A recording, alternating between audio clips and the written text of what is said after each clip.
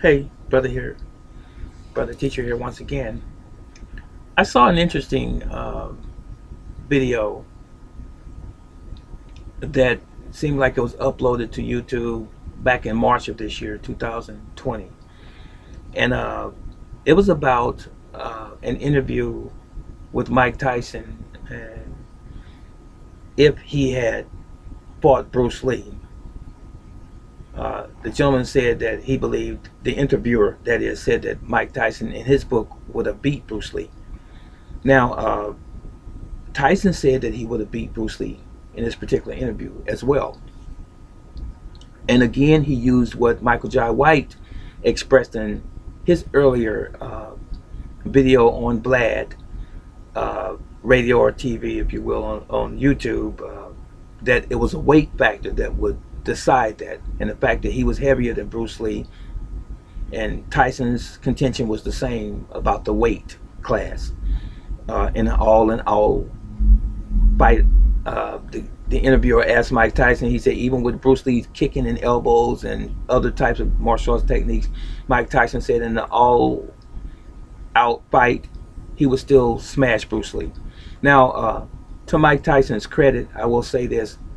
He has, in time past, given Bruce Lee a lot of credit as a martial artist. I will say that. And I have absolutely the greatest respect for Mike Tyson. I love Mike Tyson. He is, since Muhammad Ali, my favorite boxer. So, uh, heavyweight. Now, with that said, this is not to uh, diminish Mike Tyson's character and so forth. He made a statement based on his belief. I'm following up based on my belief. Now, uh, I don't want to say uh, Bruce Lee would be an underdog, but to a lot of people who have weight, stature, physically larger, more powerful, it's always been in America, it seems to me, that people want to lean on bigger is better. Bigger is more mightier than anything that's smaller. As it relates to fighting, we are missing the boat, so to speak. Here's what I mean, and I'm not going to stay here very long. I just want to cut straight to the chase here. I believe that a heavyweight can crush a middleweight or a lightweight fighter. I believe that, just in general. If you stood still, I believe that a lightweight, middleweight fighter would crush a heavyweight fighter if the heavyweight fighter stood still. Now, on either side, if the other person stood still and they were being struck by the opposite individual, then wouldn't it stand to reason that both would sustain damage? Now, where do we get this ideal or this ideology, if you will, that just because someone is bigger, has 150 pounds, maybe 200 pounds more than the other guy, where do we get the idea that that person is going to dominate the fight? He would only dominate the fight if the other guy's skill set was not adequate. So if the heavyweight guy has a skill set that is good, and the lightweight guy or the lighter weight individual has a skill set as well, the fight could go to either one. Just because you big doesn't mean that you're going to defeat the other individual just because they're lighter. We must understand this in the scenario that I used a moment ago. If one heavyweight gentleman stood still and let the other lightweight guy beat on him, he's going to get crushed by him. And the same is true conversely. So why can't the heavyweight guy be injured by the lightweight guy when they're both actually moving around and mixing it up? It depends on the skill set of the other individual and how well you know human anatomy and understand the science of fighting. If we're talking about real gladiators, as some like to term it, real gladiators fighting. Now, if we're talking about a guy off the street that's lightweight and a guy off the street that's heavyweight, we just cannot assume and paint that picture with a broad brush and say, well, the big guy's going to crush that small guy. Not necessarily so. I have seen many lightweight guys fail much bigger opponents. And I've seen bigger opponents fail or destroy a lighter weight guy. It happens on both sides.